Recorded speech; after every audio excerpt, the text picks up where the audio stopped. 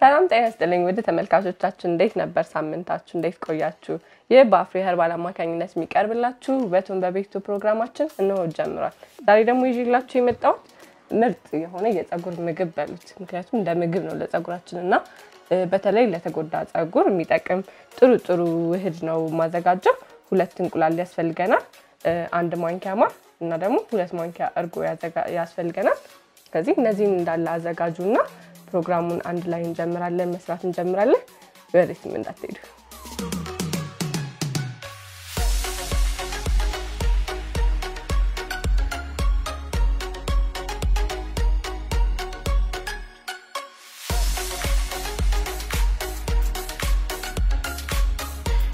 እሺ እንግዲህ አሁን መጀመሪያ ሁለቱን እንቁላል ሰብረን እንከትና እናዋህደዋለን።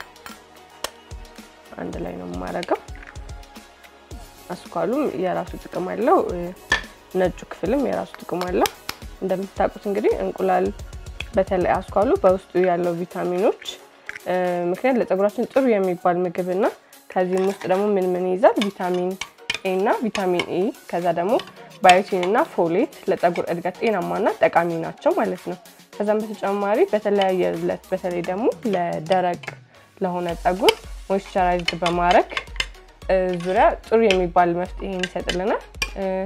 ሌላው ደግሞ የእንቁላሉ ነጩ ክፍል ደግሞ እንደምታውቁት በፕሮቲን ሴሌኒየም፣ ካልሲየም፣ ማግኔዚየም፣ ፖታሲየም እና ፎስፈረስን ይይዛል። እነዚህም ደግሞ ለፀጉር አስፈላጊ የሆኑ ንጥረ ነገሮች ወይም ደግሞ ምግቦች ናቸው ማለት ነው። በደንብ እንመተዋለን።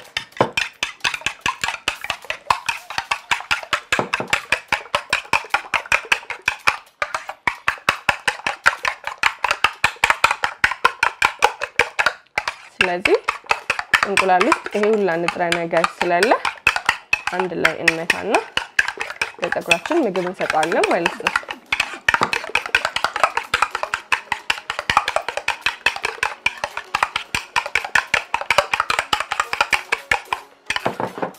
ያው እንደምታዩት በደንብ አድርጌ መትቻለሁ።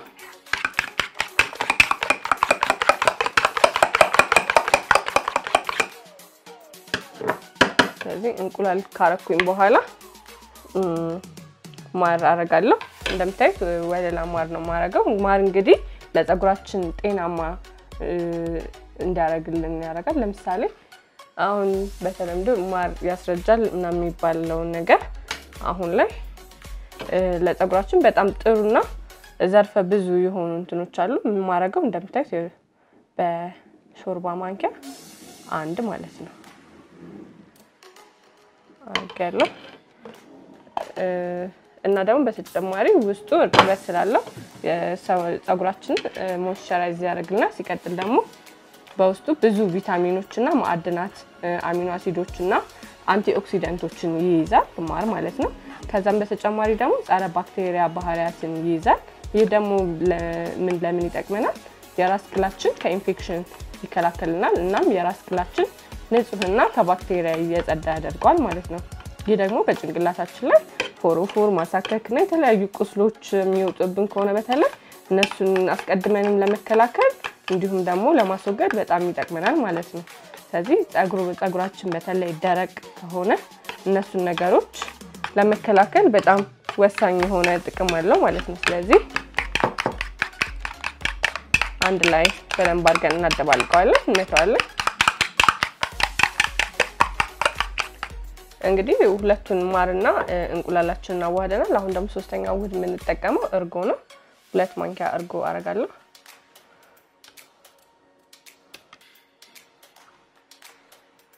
እሺ ከዛ በደንብ አርጌ አዋህደዋለሁ።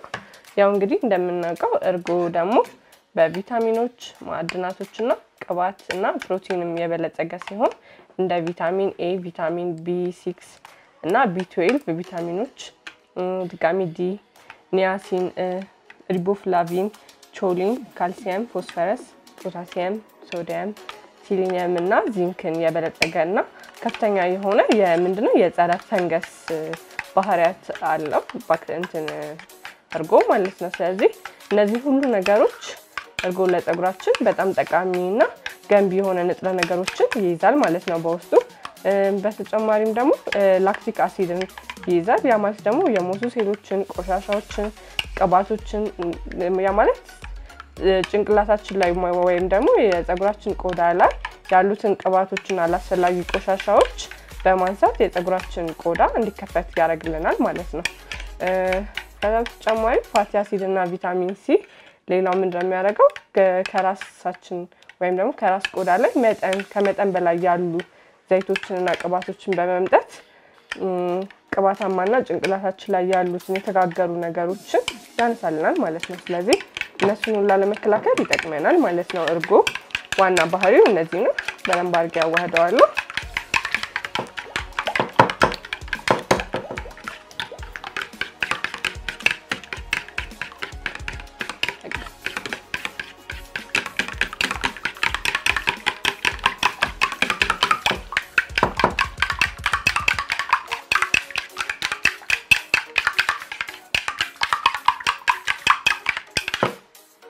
እንደምታዩት ያው በደንብ አድርጌ አዋህጃለሁ።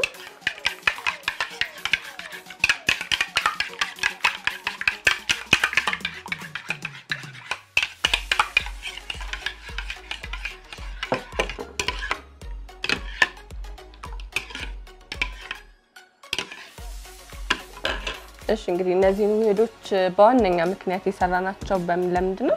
ፀጉራችን እየተበጣጠሰ በጣም ደግሞ ለተጎዳ ፀጉር የሚሆን ውህድ ነው።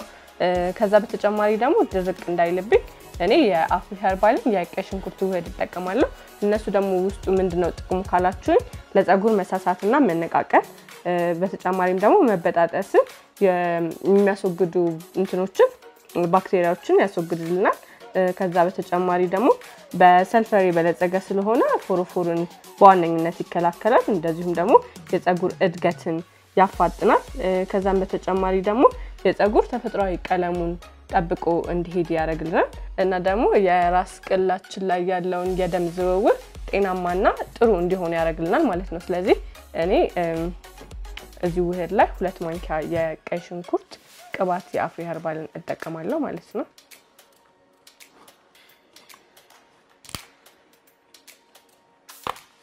እንደምታውቁት በጣም ዘርፈ ብዙ የሆነ ጥቅም ስላለው የምታረጉት ውህድ ላይ እየተጠቀማችሁ የፀጉራችንንም ድርቀት መከላከል እንችላለን ማለት ነው። ሁለት ማንኪያ አድርጌያለሁ። እዛ በደንብ አድርጌ አዋህደዋለሁ።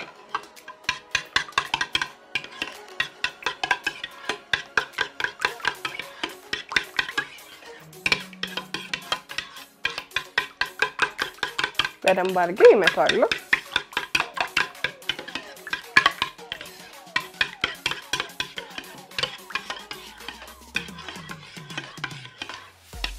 ልክ እንደዚህ አድርጎ አድርጌ በደንብ ካዋድኩት በኋላ ፀጉሬን ለመቀባት እንዲመች አደርገዋለሁ።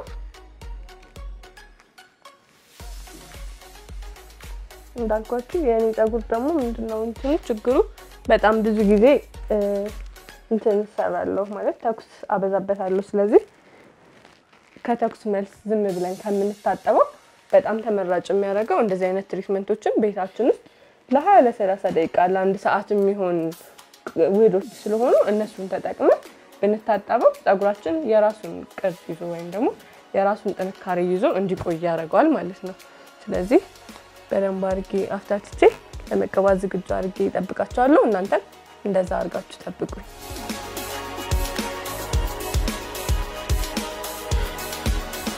እሺ እንግዲህ እንደምታዩት አበጥሩ እንዲቀባ ምቹ አድርጌዋለሁ። ልታጠቡ ስለሆነ ነው የሚቀባው። እናንተ ልትታጠቡ ስትሉ ብትቀቡት በጣም አሪፍ ነው። ምክንያቱም በዝም ብለን ከምንታጠበው በደንብ አድርገን ምግብ ሰርተ ነው ለሚቀጥለው ሹሩባም ከሆነ ምንም ብንሰራበት ራሱ የራሱን ይዘት ይዞ ይቆያል ማለት ነው። ትንሽ ቀጠን ስለሚል በስፕሬይ ማድረግ ትችላላችሁ። እኔ ቀጠን ስላለብኝ በስፕሬይ አድርጌዋለሁ።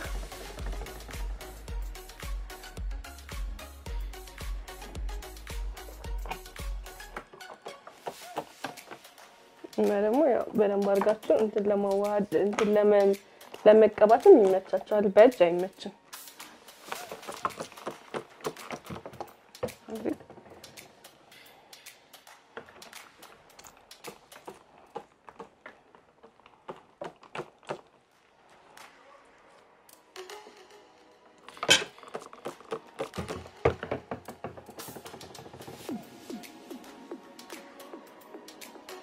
እንግዲህ እያንዳንዱን እንደዚህ ውስጥ ውስጡን እያረኩኝ እቀባዋለሁ ማለት ነው።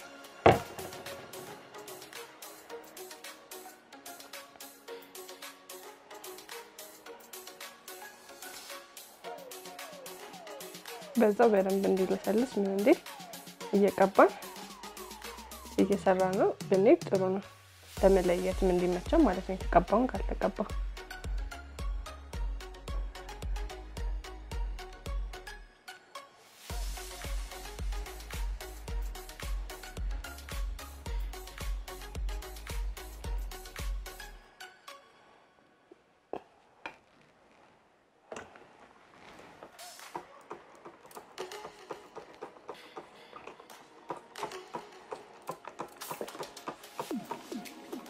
በደንብ ጭንቅላታችንን ካራስን በኋላ ቆዳውን ካራስን በኋላ ወደ ዘለላው እንሄዳለን ማለት ነው።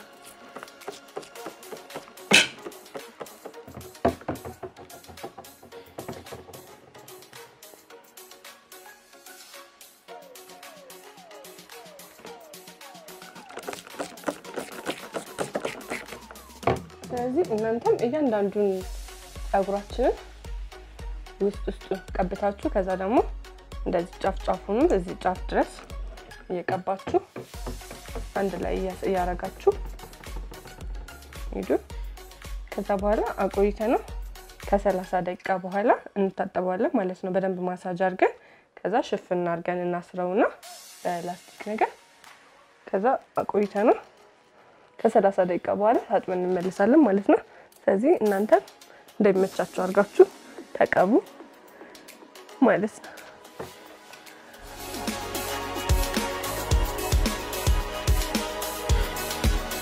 ያው እንግዲህ እንደምታዩት ተቀብቼ ነበረ። አሁን ታጥቤ ይኸው እንደምታዩት ፏ ወዙ ራሱ እንዴት ነው ፏ ብዬ መጥቻለሁ። የተጠቀምኩት የአፍሪ ኸርባልን የቀይ ሽንኩርት ሻምፖ ነው። በነገራችን ላይ መዓዛው በጣም አሪፍ ነው። እኔም በጣም ተመራጭ ሻምፖ ነው። ቅድም ደግሞ ውህዱን ስጠቀም የ Afri Herbal ን የቀይ ሽንኩርት ቅባት ተጠቅም ያለው እና ቀይ ሽንኩርት እንግዲህ በጣም ዘርፈ ብዙ የሆነ ጠቀሜታ አለው።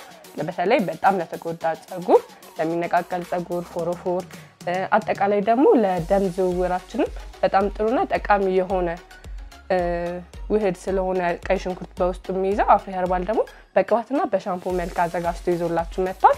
እነዚህ ምርቶች ተጠቀሙ እንላለን። ስለዚህ ከ Afri Herbal ጋር ወደ ተፈጥሮ እንመለስ። በሚቀጥለው ፕሮግራማችን እስክንገናኝ ድረስ አብራችሁን ቆዩ። ለ YouTube ቻናላችን አዲስ የሆናችሁ like እና subscribe በማድረግ ቤተሰብ እንድትሆኑ ስንል በአክብሮት እንጋብዛለን። እነዚህ አሪፍ አሪፍና ጥሩ ጠቃሚ የሆኑ ቤታችን ውስጥ ቁጭ ብለን በቀላሉ መልክ ውበታችንን መጠበቅ የምንችልበትን ፕሮግራም ለማየት ለ YouTube ቻናሉ subscribe ማድረግ ይኖርባችኋል ማለት ነው። በሚቀጥለው ፕሮግራም እስክንገናኝ ድረስ ሰላም ቆዩልኝ።